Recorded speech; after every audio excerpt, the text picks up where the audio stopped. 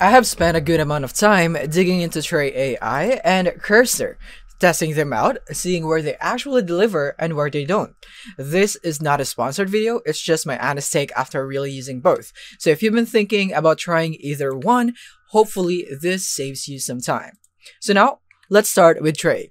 It's clean, lightweight, and built more like a no-frills copilot. You can ask it questions about your code base, generate functions, refactor, and it's especially great for solo devs or smaller teams who want AI help but don't need full IDE integration. Cursor, on the other hand, feels like a full-on AI first code editor. It's built on VS Code and the AI context window is smart.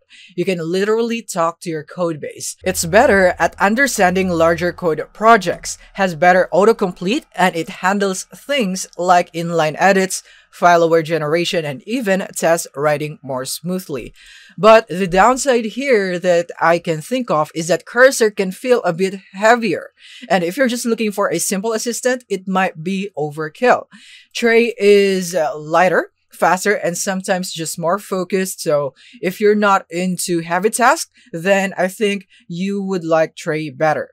So if you're working on a large code basis or want a full AI native IDE, then Cursor is definitely hard to beat on that specific field.